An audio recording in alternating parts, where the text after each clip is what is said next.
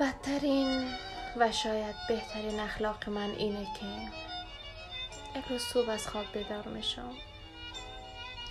هیچ حس نسبت به آدمی که دیروز ناراحتم کرده بود ندارم.